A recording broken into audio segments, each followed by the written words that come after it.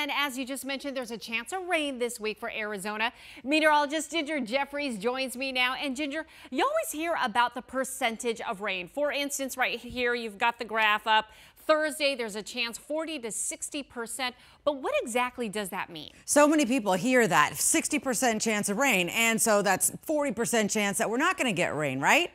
Wrong. Oh. It's exactly the opposite. What it actually is talking about is the amount of area that will get rain. So in a meteorological sense, what we call it is a pop. It's the probability of precipitation, measurable precipitation within the forecast area. So if you think of the entire state or if we're just going to do a microclimate, let's say the Phoenix metro area, and Lindsay says, all right, well, we've got a 40% chance of rain. That means four out of the 10 times we had the exact same weather pattern, that region region saw rain. Okay, so when you talk about measurable rain, for instance, you know, I'll see rain at my house, but then you'll say later, there was just trace amounts mm, of rain. so such, why the difference? It is such a great question because size matters when it comes to the Doppler radar. When the rain is coming out of the sky, the Doppler is measuring it. So if a raindrop is smaller than half a millimeter, it is immeasurable. We could get a bucket full of that kind of rain, but it's actually virga. And the other thing is, did you know the raindrop doesn't look like a teardrop? Yeah. It looks more like a hamburger hamburger bun. Oh. As it's falling, that wind is hitting the bottom. So uh,